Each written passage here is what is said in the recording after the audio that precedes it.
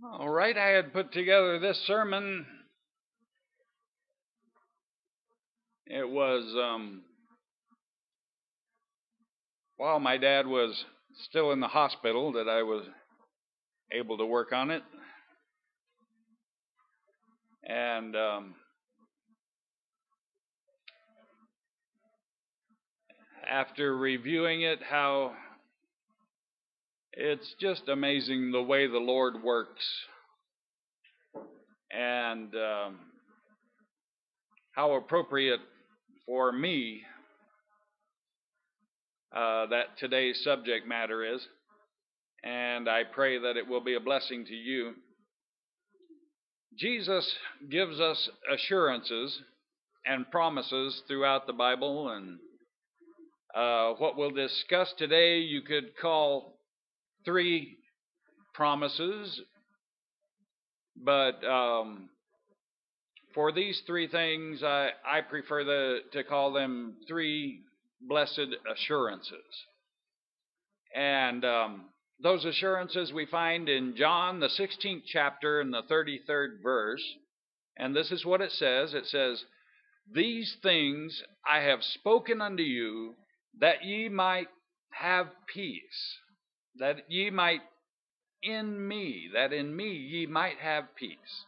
Have to make sure I get that in there. Start over. These things I have spoken unto you, that in me ye might have peace. In the world ye shall have tribulation, but be of good cheer, I have overcome the world. So here in this verse we have three basic assurances that uh, Jesus tells us that we um, we are going to have. And this is, uh, if you read the chapter, this particular verse uh, follows where Jesus tells his disciples that he's going to have to leave them, but he's going to send the Comforter. Uh, he tells them that they're they're going to be going through times of trouble and, and persecution, and that even to the point that they will deny him and that they will leave him high and dry. Yet, after he says all that, he says this. He says, I've told you all these things so that in the end you might have peace in me that you might know for certainty that in this world you're going to have troubles and tribulations, sorrows and heartaches, but be of good cheer because I have overcome the world. So we move on into our subject matter. There are three basic assurances here in one verse. The uh, first assurance that we uh, come across is that in this world, we are going to have tribulations. We are going to have troubles.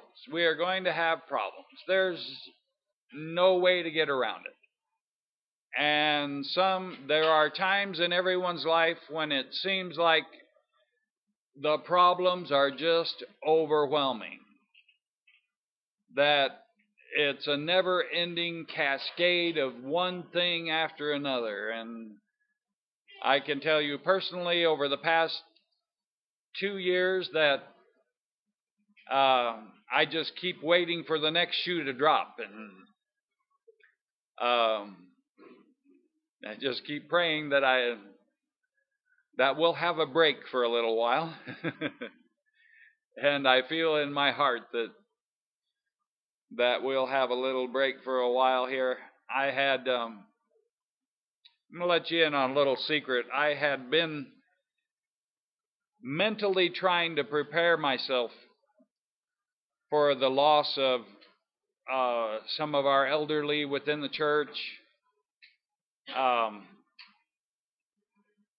for Sister Joanne and for Opal and and um, had been trying to mentally prepare myself for the loss of of my parents as they're getting on in years and but the truth is you can try to prepare your head all you want to for troubles and heartaches and grief and sorrow.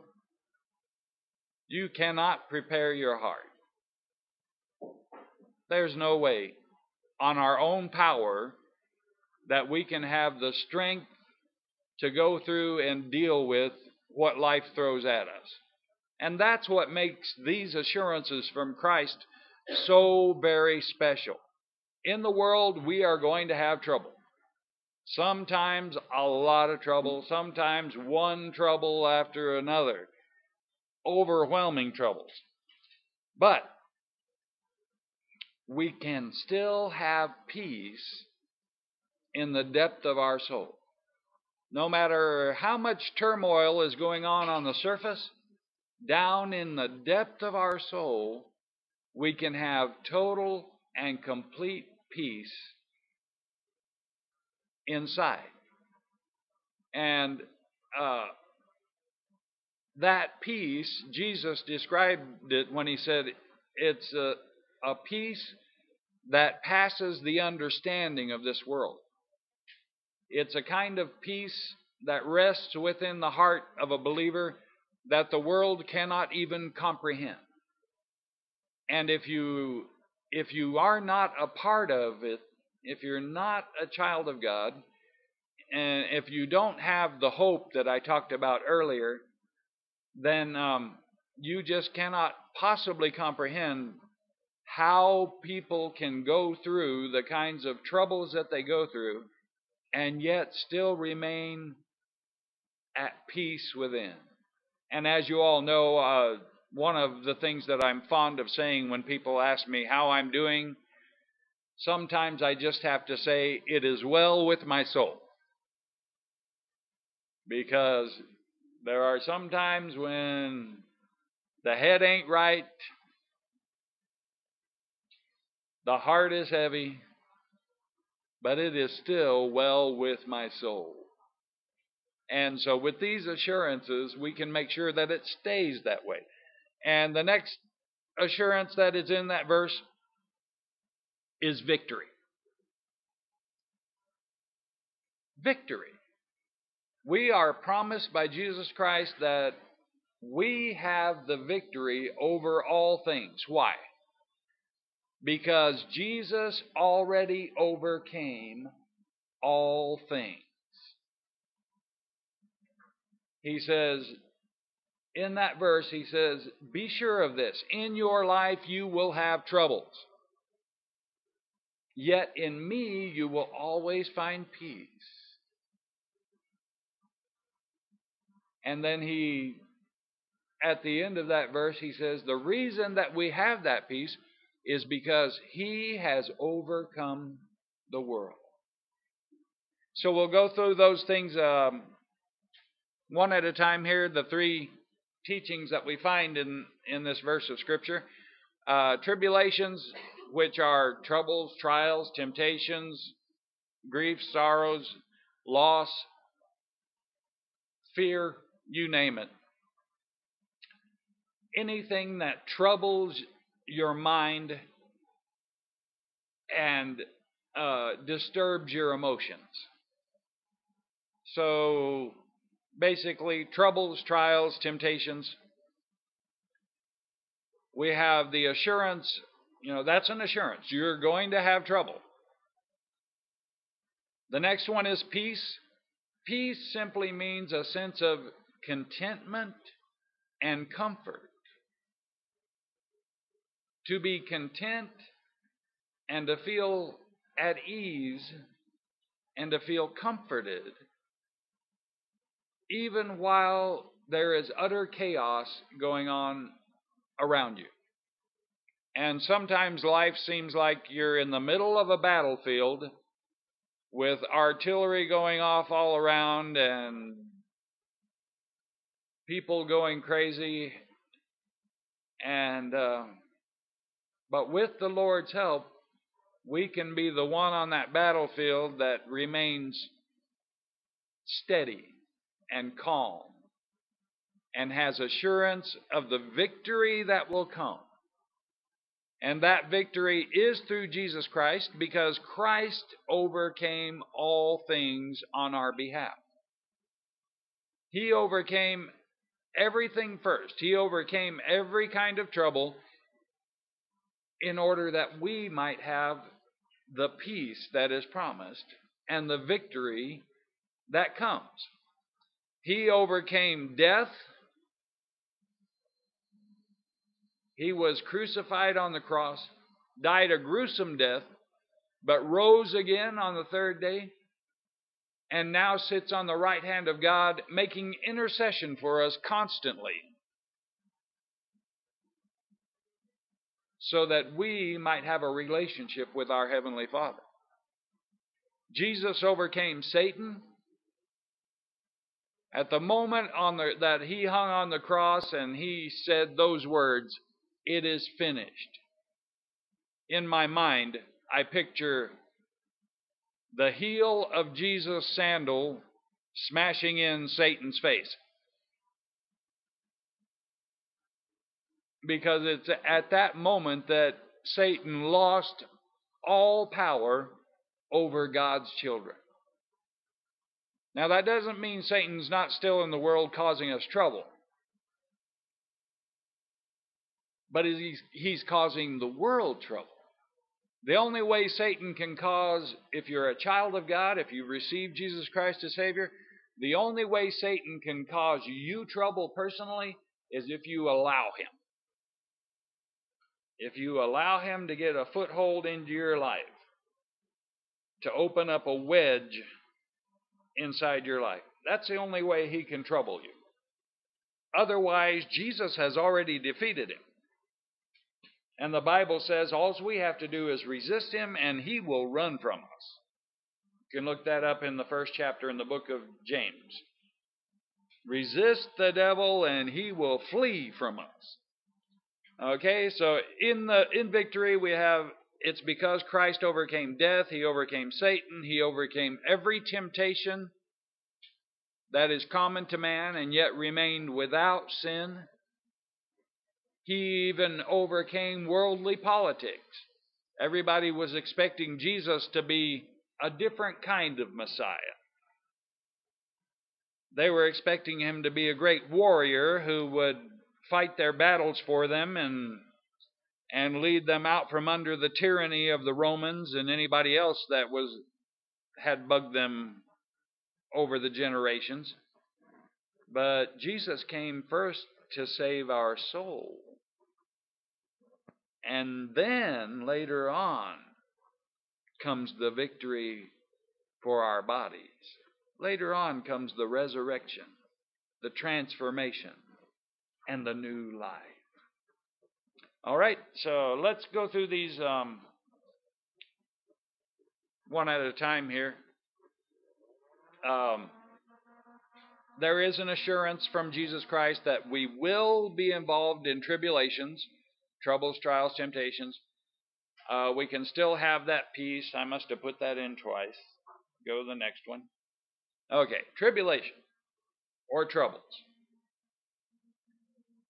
There is a saying success and contentment are too soon forgotten whenever we encounter life's troubles. Success, any success and contentment that we may have at this particular moment in time, can be all too soon forgotten when something drastic happens whenever life's troubles enter into our living. It's like right now we're sitting here and everybody's calm, but if there was an earthquake of 3.5 or higher, there might be a little chaos in the room. Wouldn't mean that the world was over,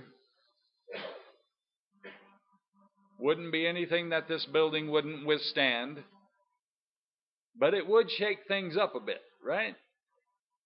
Jesus gives us an assurance every now and then your life is going to get shook up a bit. And when that happens, we can react one of two ways. We can be like the little hen who ran around saying the sky was falling, or we can have peace and contentment in Jesus Christ. And God, uh, let me explain to you that God allows tribulation to come into our life.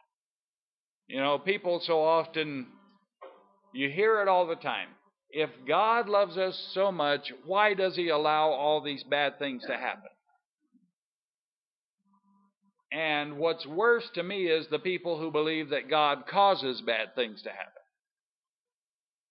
And if you read also in the book of James, you understand that God is God does not do anything bad. God does not bring any evil upon his his people, upon anybody. God is good. God is love. He is incapable of doing any harm to any of us. Why? Because He is good and righteous and just. And the Bible straightly tells us that God is not tempted with evil, neither tempts He any man. So when troubles come our way, it's not God's fault. And it's God is not the source of it troubles come into our life in the form of, uh, I have to put a small disclaimer there. God will use troubles that come into our life for chastening. Chastening basically means uh, it's like when you get a whipping But what it really is is just discipline and direction from God. You see, not every child has to be whipped in order to receive discipline and direction. And um, in fact, in the world we live in now, if you whip your children and uh, if you decide not to spare the rod, uh, you could get into a lot of trouble. There are effective ways to discipline and direct our children without beating them in anger. And uh, I, I always went by the principle that the only time a child should be disciplined is when they directly challenge our authority. Because that's the only time God disciplines us. The only time He disciplines us is when we directly challenge His authority in some way. So, troubles can come into our life as a result of our own foolish actions. And the Lord needs to discipline us and direct us get us going back on the right direction. Troubles can come into our life out of persecution. This is what Jesus was uh, in this chapter trying to describe to his disciples was that they were going to be persecuted because they were his followers. And if you are a follower of Christ, you are going to undergo persecution. There's no doubt about it people are going to think of you a certain way, and people are going to treat you a certain way. And, uh, you know, a lot of times we think of persecution as such a negative word and such a negative thing, but in my mind, to be persecuted for being a Christian and for being a good example and a testimony to the world around me, to me, that's really not, doesn't fall into my category of persecution. People can call me a Jesus freak. They can make fun of me. They can shun me. They can stop talking when I enter the room. It doesn't bother me. It did in the beginning, but it doesn't bother me anymore because I know why they're doing it. It's not because of me, it's because of who I represent. It's because they know that I represent God. And so if I suffer some persecution because I am called a Christian, and the word Christian, of course, means like Christ, Christ like. We are learning to become more and more like Christ. If we suffer a little persecution for that, it is nothing compared to what Jesus suffered for us. All right, the next uh, thing I have on my list there is temptations. We suffer a lot in life. We suffer a lot of troubles and a lot of tribulations because of our own temptations. Because we are tempted towards sin. We are tempted to do that which is against God's will. And every time we do something that is against God's will, it has, the next on the list, consequences. There are always consequences for going against God's will. Why do we go against God's will if we know that there are such consequences? that we're going to have to pay? The same reason children go against our will. Knowing full well that they're going to have to pay the consequences for doing something that is a, uh, we've d- directly told them not to do, or we've taught them that they ought to do. And yet they challenge our authority consistently. Why do they why do they do that? Because of their selfish inner desire. Because a child has an innate selfish desire to be free from the authority of their parent. And because children have innate selfish desires to do whatever they want to do at any particular moment in time. And that doesn't change as we grow into adults. You know, we have children, every child has uh, certain things that a parent will have to deal with. Uh, some parents have to deal with a child who's who grab things, grabs things out of the market, puts them in their pocket on the way out, um, all the way up to having to deal with a child who uh, is a little older and gets involved with drugs and and other activities like that. It the range is huge. And so it is among everybody on the planet that we all have selfish inner desires. We all have selfish evil desires. We all have desires to do things that go against what God has taught us that we ought to or ought not to do.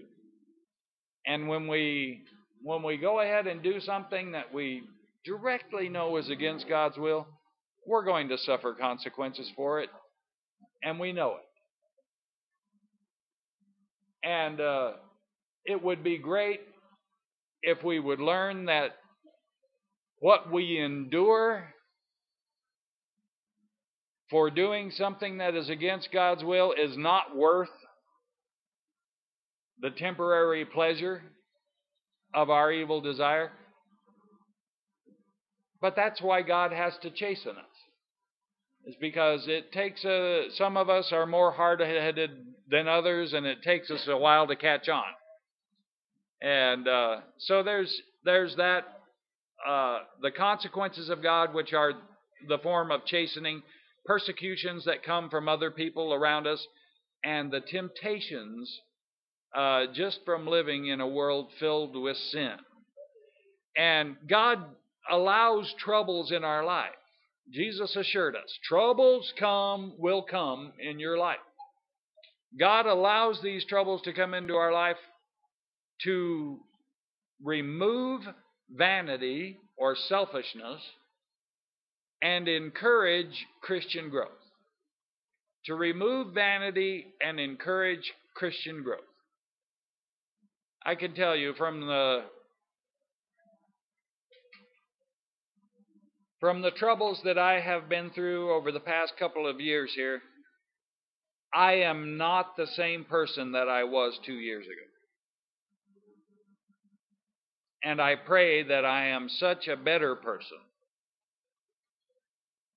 Because hopefully I have allowed God to use the troubles that have come into my life to shape me and to mold me, to make me more humble, to remove any residuals of my own power and my own strength and thinking that I'm smarter or better or more qualified or. You see, because God has to remove all of that from us in order for us to become who we ought to be as Christians. We need to be humbled to the absolute extreme. And that's what happens when troubles take their toll in our life, is that we are humbled more and more and more over time.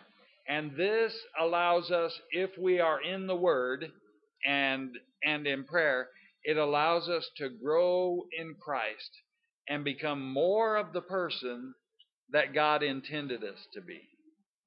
Instead of being stuck in the person that we don't like to be, we gradually become the person that God wants us to be. Okay, the next thing said, even though there's going to you're going to have trub, troubles, tribulations, you can be at ease, you can rest assured that in me you will have peace in Christ we will have peace, not by any other method. Not through yoga, not through meditation, not through books on psychology, but in Jesus Christ we can have peace. Even when the world is in absolute chaos, we can have contentment and comfort in the midst of life's problems. Jesus said, That you might have, these things I have said to you, that you might have peace in me. That we might be at times lonely, but never alone, because Jesus promised, Lo, I am with you always. Family and friends can forsake us. Jesus never will.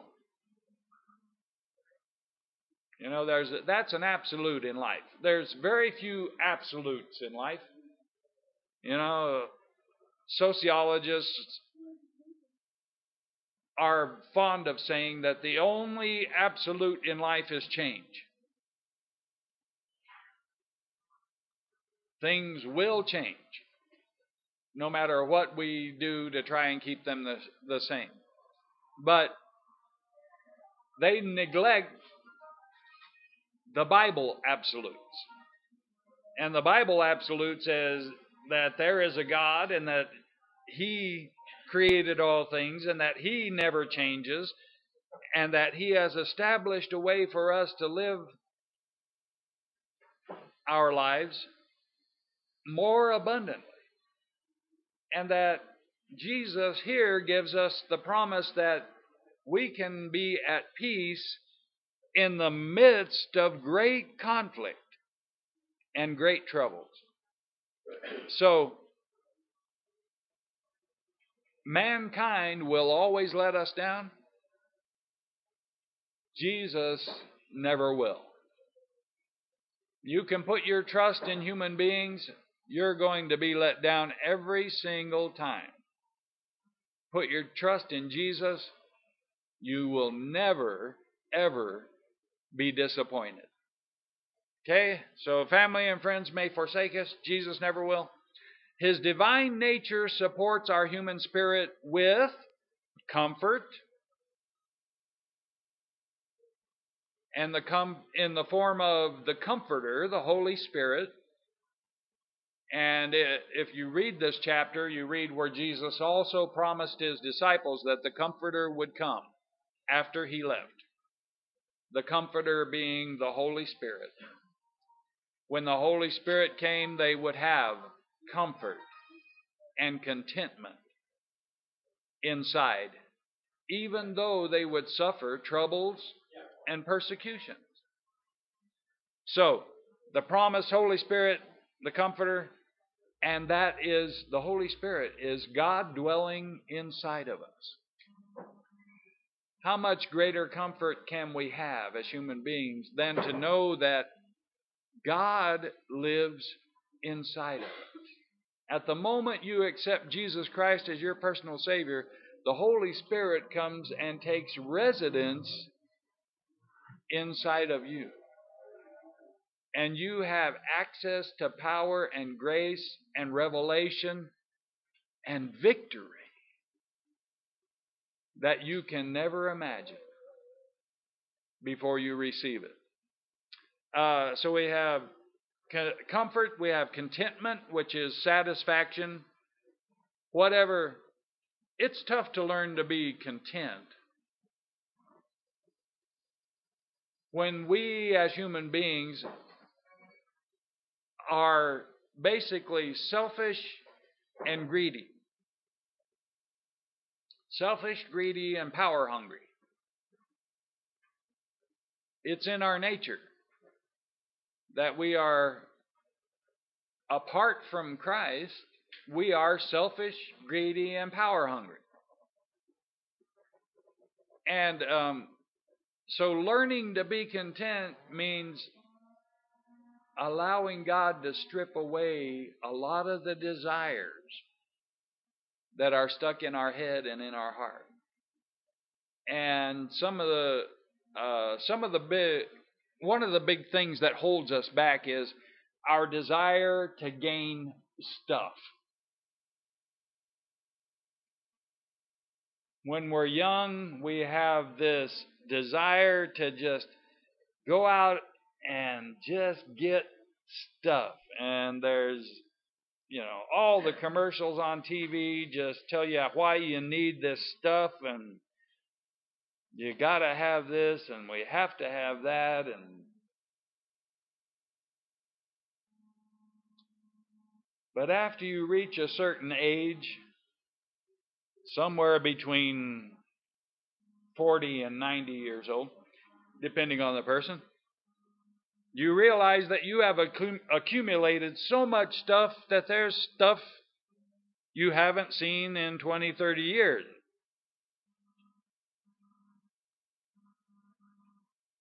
It's time at my house, it's time to start trying to give away stuff to the grandchildren. Here, you want stuff? Take. Take as much as you want. Got more stuff than I could ever use.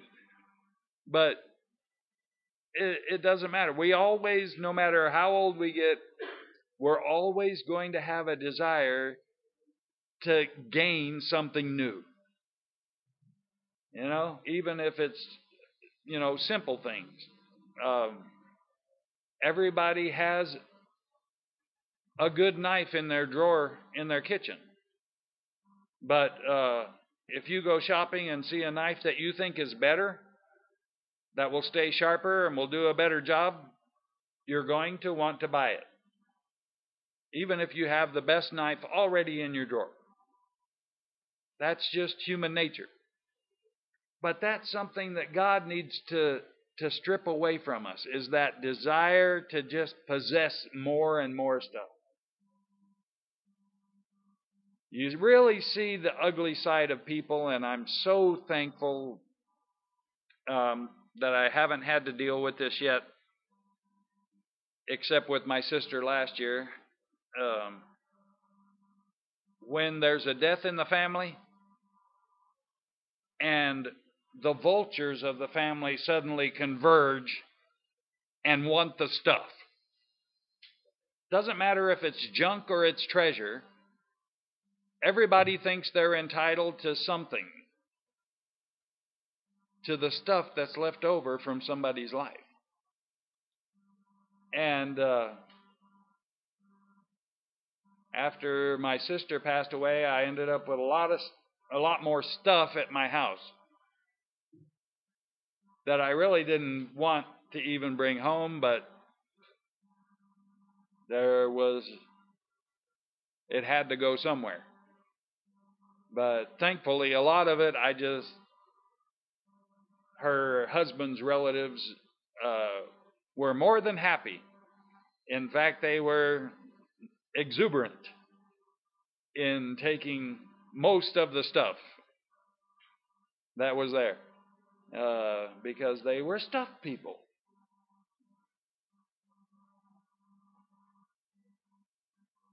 God has not yet stripped that away from them.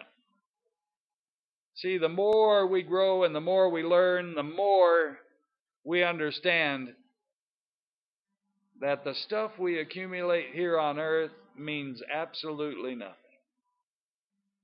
We're not going to take it with us. I've never seen a U-Haul behind a hearse.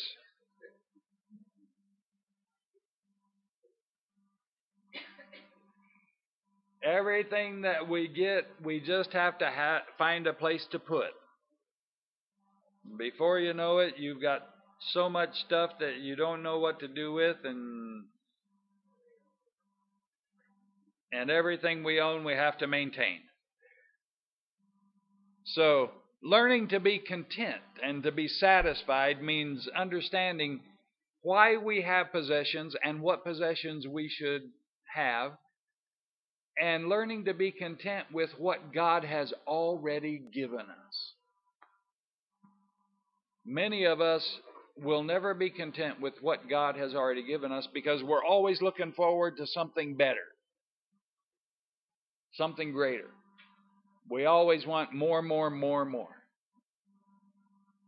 We have to learn to be content with what God has already given us in order to be at peace inside. Also, contentment means having a sense of purpose. We all have an inner desire to be valued and respected by the people around us. But you can be valued and respected for the wrong reasons. So we have to learn how to be valued and respected as a person for all the right reasons. Because even a stripper is proud. She's proud of her body and she's proud of her dance and But that doesn't mean we all want to be strippers, right? I would hope. We can learn to, to be valued and respected for the wrong reasons. A drug dealer feels he is valued and respected, but it's all with the wrong people and the wrong crowd, right? He is certainly not valued and respected by society or by law enforcement. Not in the least.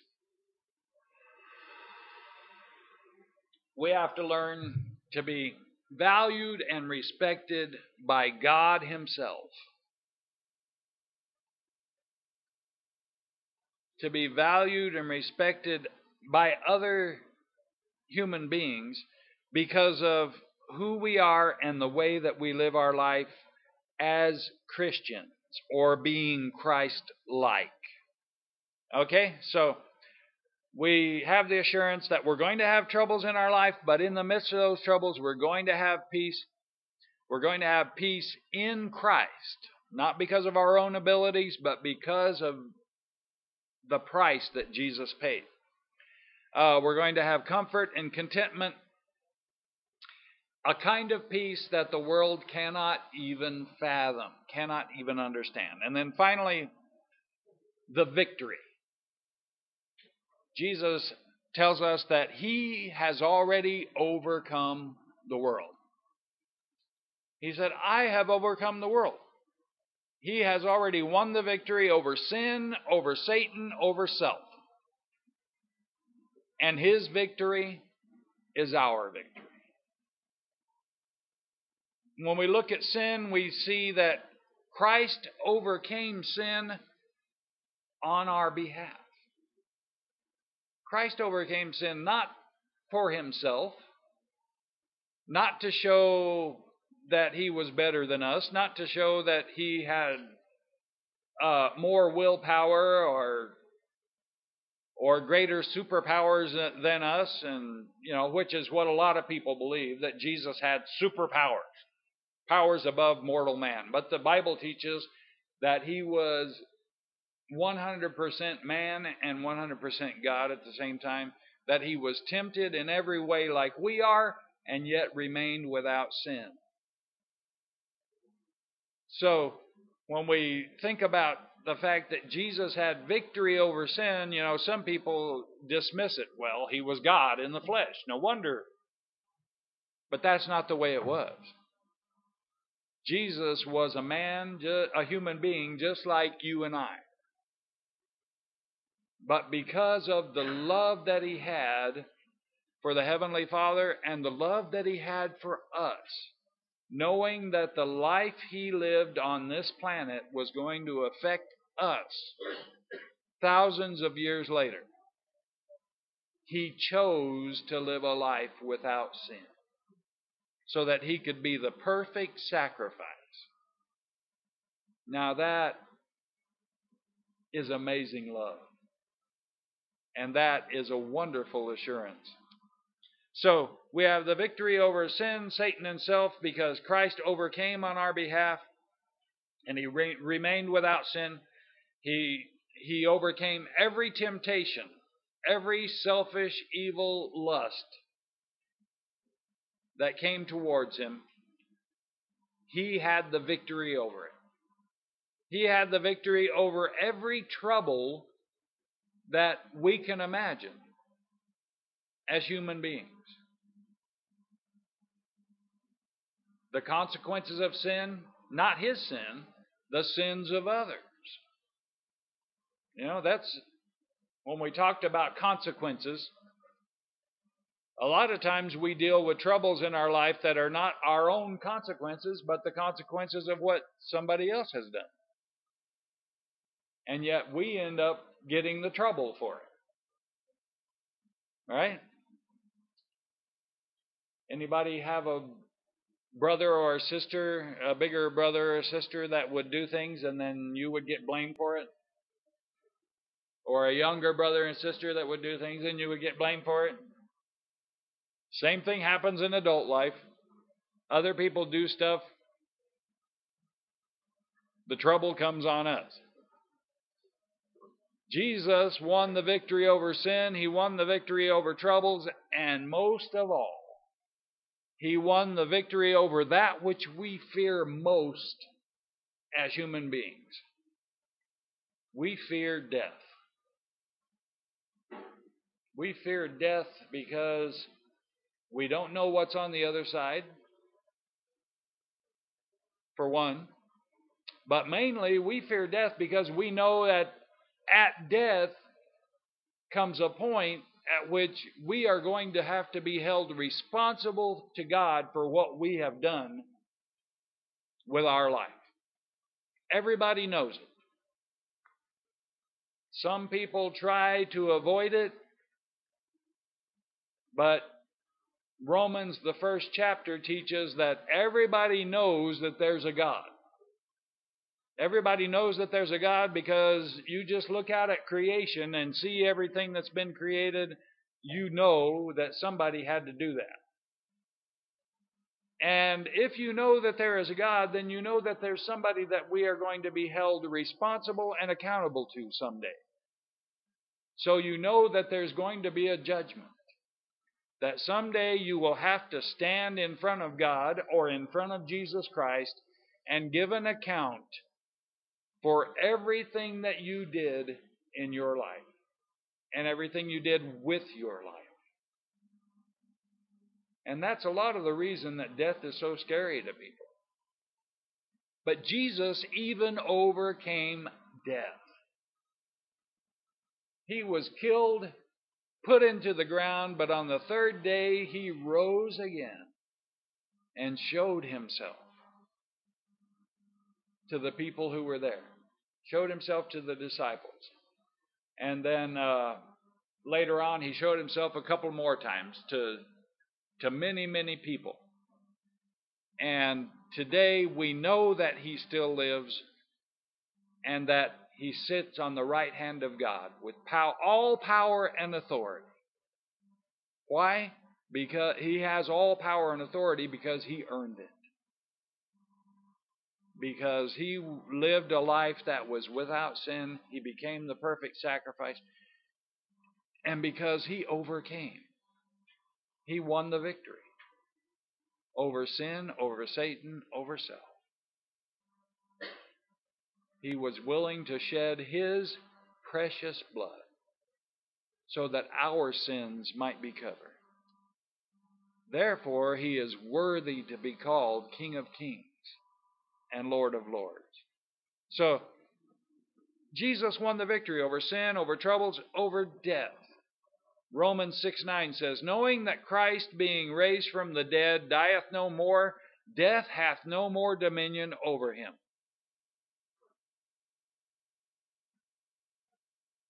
As Christians, we should consider ourselves already dead to selfishness and to sin, and alive to righteousness. In the same way that Jesus died to the earthly and rose again to the heavenly, we can learn to live a life that where we are dead to the old person we used to be and alive as new creatures in Christ. And that's the whole goal. Learning to become better people than we used to be. Learning to be prepared for the hope of our calling as Christians. So Christ has already overcame all things and he did it just for you. If there was no other person that ever lived, Christ would have still done it just for you. That amazes me. That is such a wonderful love. You know, it's something to think that Christ would do this for all of mankind, but even if you were the only person that God ever created, Christ would have done it just for you or just for me. That's the amazing amount of love that He has. And that's why we have such a great assurance in Christ for these, for these things. So, in summary, Christ tells us that in life we are going to have troubles. There's no getting around it. You're going to have troubles. Sometimes little trouble, sometimes one trouble after another. But the peace of Christ will always carry us into that which is glorious. And that which is glorious is the victory that has been promised to all of us who have accepted God's gracious gift of salvation. Once you accept the salvation that comes through Jesus Christ, then you have these blessed assurances that no matter how much trouble comes into your life, you can live your life in peace and contentment and satisfaction, knowing full well that the hope of your calling is stable because Jesus already won the victory for each and every one of us. Today, if you don't feel very victorious, then that's your own fault. Because the Bible tells us that Jesus has already given it to us. All we got to do is live in it. Let's stand together.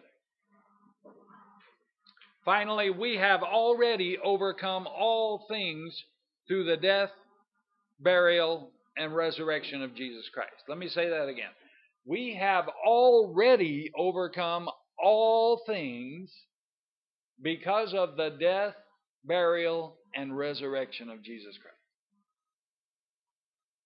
A lot of us are holding back. A lot of us are still waiting for something more to happen. A lot of us are waiting for a greater revelation from God or a greater push from the Holy Spirit or something. But there's no need to wait. We can live in the victory of Jesus Christ right now, today. There's no way, no reason to go away from here feeling defeated, feeling uh, tortured, feeling confused, feeling sad. We can go away from here in spite of what's going on around us in the world, totally at peace and absolutely victorious because of Jesus Christ.